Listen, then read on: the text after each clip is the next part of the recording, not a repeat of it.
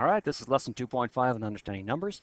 Today we're going to take a look at factors again, but we're going to be looking at it in a couple of different ways. Number one, you're going to be finding what are called perfect numbers. Then we're going to give you another method to find factors using what's called the rainbow method, which is kind of like in pairs, but in a different format. And then finally, we're going to look at what's called prime factorization. So let's get started. In this lesson, we're going to learn uh, a few different ways of finding factors, uh, finding factors of a number so we'll start with first off what's called a perfect number. So in order to tell you what a perfect number is, let's look at the factors of 6. We know the factors of 6 are 1 and 6 and 2 and 3. Now, how do you know you've discovered all the factors? Well, if you do it in pairs, you can go 1 by 6, 2 by 3, and then when you when you try to find the 3, you've already gotten it here, so that means you've got them done. So always doing them in pairs will guarantee you get every single one. Now, what do you notice about adding 1, 2, and 3 together? We should notice that it gives you 6. Now this is, may seem to be something that um, happens frequently, but the reality is it happens very, very infrequently. All right, it doesn't happen very often. The number 6 is called a perfect number because the factors add up to give you the number you started with. So 1 plus 2 plus 3 is actually 6. Do you think there's a lot of factors, uh, perfect numbers? The answer to that is no. There's not that many. In fact, as you go further and further and further into the numbers down the number line, you'll find that there's only four of them less than 10,000. All right. And uh, after the 10,000 one, it makes a huge jump, and I'll show you down below what that is. So can you find another perfect number? Well, I'm going to give you a hint. There is one. It is less than 30, but more than 20. So I want you to pause the recording, and I want you to see if you can figure out what factors uh, what, what is the next perfect number?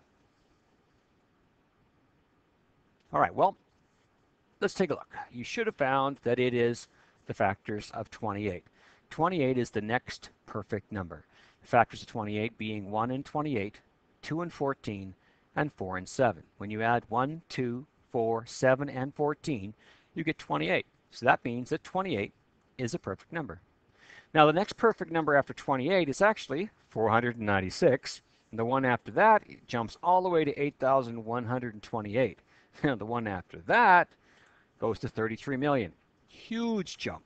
In fact, the last time I checked, they were they'd only discovered 45 or between 40 and 45 of these perfect numbers because the numbers get so big they're beyond our our computer's ability to calculate them fast. So it's a uh, it's kind of a unique thing. All right. Now I'm not going to just to go back there quickly to, to think to to uh, make sure you understand. I will be asking you about this on tests and quizzes, so this is not something which is just a cute little idea that I want to introduce you to. You have to be able to know what perfect numbers are and how to find them. Okay, so be aware of that. Now let's talk about common factors. One of the skills you're going to do in grade 7 in fractions is, is going to be using common factors, and we use this when we add and subtract fractions. Now we're going to use the actual common factors to reduce fractions, and we're going to be using multiples of uh, uh, factors to find the common denominators. So these are two things you have to be able to do. So let's start with a simple example. How about this of the factors of 4 and 12? So I'd like you to find the factors of 4 and the factors of 12, and then start the recording up after you've, you've finished that. All right. Factors of 4, really simple. 1 and 4 and 2 and 2. Now since we only need to have 1, 2, just write down the 1.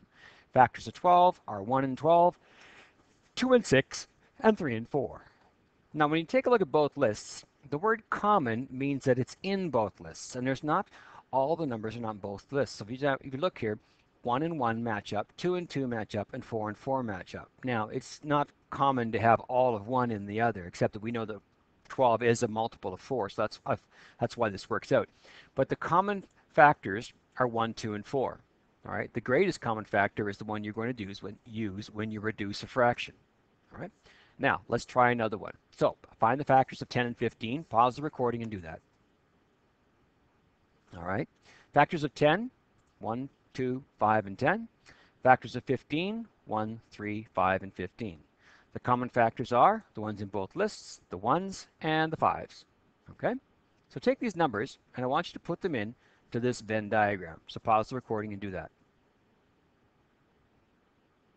Now the factors in the middle here, these are the ones that go into both the 10 and the, 5, the 15. So we would use these here to reduce 10 fifteenths or 15 tenths if it was in fraction form. The factors of 10 are 2 and 10, and the factors of 15 are 3 and 15. These are the ones that don't go into the other number. All right, moving on. Let's find another way of finding factors now.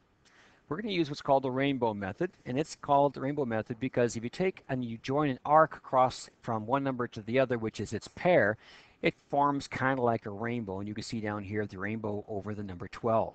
So we know the factors of 12. We've done this several, times now. We know they're 1 and 12, 2 and 6, and 3 and 4.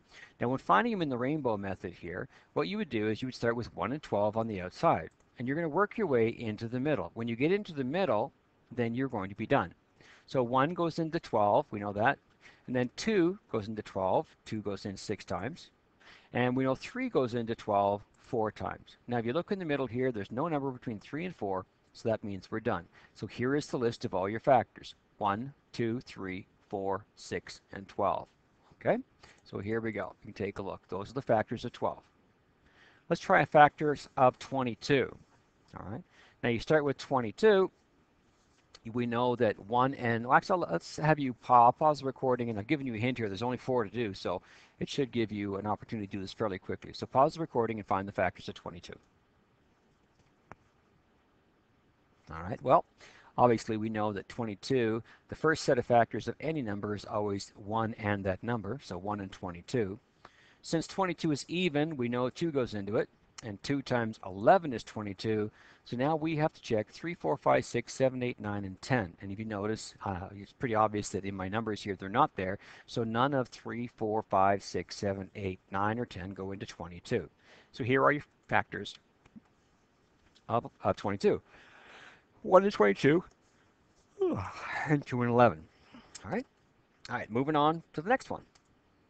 All right, here's 30. I'd like you to do the factors of 30. Now you have a choice here. You can do them in the rainbow method or you can do them in the list method. So find the factors of, of, of 30 and then I want you to sort them into prime factors and composite factors and numbers which are neither prime nor composite. So pause the recording and do that. All right. So factors of 30. 1 and 30. 2 times 15 is 30. 3 times 10 is 30. And 5 times 6 is 30. You'll notice there's no numbers between 5 and 6, so we've got all the factors here. 1, 2, 3, 5, 6, 10, 15, and 30. And you'll notice except for 1 and 2, these are all your prime factors, 3 and 5, sorry, 2, 3, and 5, sorry, except for 1. And over here, these are all your composite factors, 6, 10, 15, and 30. The one which is neither prime nor composite is the number 1.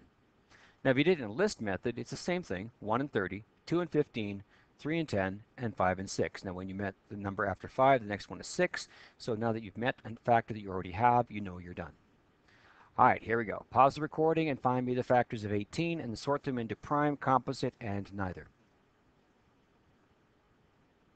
All right, well, starting with the list method this time. 1 and 18 works. Since 2, 18 is an even number, 2 goes in, so 2 times 9 goes in. And then 3 goes into 18 because 3 times 6 is 18. 4 doesn't go in because it goes to 16 and 20, but not 18. 5 does not go in because it doesn't end in a 5 or a 0. And then 6 we've already done, so we know that we're now finished the factors of 18. So the factors of 18 are 1 and 18, 2 and 9, and 3 and 6. The rainbow method is the exact same thing. 1 and 18, 2 and 9, and 3 and 6. Okay, Prime factors. Well, these are the ones on the left-hand side that don't have, um, except for the 1. So 2 and 3 are prime. Or composite numbers are the 6, 9, and 18. And the one which is neither prime nor composite is the 1. And you can see over here in our list method, except for the 1, these are your primes, and over here, these are your composites. Okay, so hopefully at this point in time you can find all the factors because you've done it in two separate methods. So now let's take a look at what are called prime factors and we're going to do what's called a prime factorization, a great big word. And it's sometimes just called a factor tree because if you take a look at it, it kind of looks like a, a, a, a Christmas tree, except it doesn't have the stand at the bottom. But it has the same shape. Now in a factor tree, what you want to do is you want to try to find all of the prime numbers that when you multiply them together, you will get that number. So there's four numbers down here, and if I multiply this number times this number times this number times this number, I'm going to get this number here, which is, is a 24. So to do this, what you do is you take a look at 24 and you think, think of two numbers, any two numbers that multiply to give you 24. Now in this case, I chose 4 and 6 because 4 times 6 is 24. Now, once that's done, you notice this is a 24 level, this is a 24 level, so down here, this has to be a 24 when you multiply it together. So what two numbers multiply by 4 all right, and remember we're trying to look for prime numbers, so 2 times 2 is 4. We never use 1 because 1 is not a prime number. And if you did use 1, it would never stop because 2 would be 1 and 2. And then 2 would be 1 and 2, and then 2 and we go on and go on and go on. So we don't use number 1. All right. Now, how do you make 6? The only way to multiply to make 6, uh, because it's composite, without using 1 and 6, is to use a 2 and a 3. Now, 2 times 2 times 2 times 3 are all prime. So the prime uh, numbers, the final prime factorization of this is 2 times 2 times 2 times 3. Now the next question is, well, we also know that 24 may not start with 4 times 6. What if you used a different set of numbers here? What if you didn't use 4 times 6 to get 24? What if you used 3 times 8? All right? Well, we know that we can't use 1 and 3, so this 3 just comes down all the way by itself. There's nothing you can do. It's already prime, so we know that this is going to be in our final prime factorization. Now 8, can't use 1 and 8, but we can use 2 and 4. Now 2 is prime, so it's just going to come down to there. Now 4 can be made up of 2 and 2. Now notice this is 2, 2, and 2. There's three 2's there and a 3 look at this, three twos and a three. So this answer and that answer are exactly the same. They're basically, if you put them in, in, in prime factorization form here, 3 times 2 times 2 times 2. This equals 24. Now I did 3 and 8, and we up here we did 4 and 6. There's also, you can use 2 and 12. Right? Now 2, being prime already, just comes down for the answer. 12 can be made up of 2 and 6. You could also have used 3 and 4 here all right? And then, of course, 2 being prime comes down, and 6 is 2 times 3. Now, notice three twos and another 3 there. It's the same thing. So it doesn't matter what pathway you use to get to your prime numbers. All of them will always come out with the same numbers in the end. So each line, though, as you go across, 3 times 8 is 24, 3 times 2 is uh, 6 times 4 is 24, and 3 times 2 times 2 times 2 is 24. So if any one of these lines doesn't equal 24, you know you've made a mistake. So do you think the person beside you working will actually have the same uh, exact thing you do? Well, probably not. Because there's different pathways, and the larger composite number you get to, the more pathways you're going to have to the prime numbers, there's not necessarily going to be the same route. Somebody might have started with 4, 6, another person may start with 3, 8, and another person may start with 2, 12, but you'll all get the same number at the bottom. So I want you to treat, find the factor tree for 28. Okay. You'll notice that there's kind of a hint here. All right, you'll notice this comes down to here to here, so you know this is going to be a prime number. So what two numbers multiply to give you 28, and you can't use 1 and 28. So pause the recording and, figure, and figure that out. Okay, so um, 28 is even. So we know that 2 goes into 28, and 2 times 14 is 28. The 2 just comes down because it's already prime. And 14 can be made up of 2 times 7. I know 7 is prime, 2 is prime, and 2 is prime. So my final primes here are 2 times 2 times 7. All right, if you have any trouble, go and watch the video again as many times as you need to. And if you still don't understand, come in and talk to me we'll figure it out. So have a great time and we'll see you next time.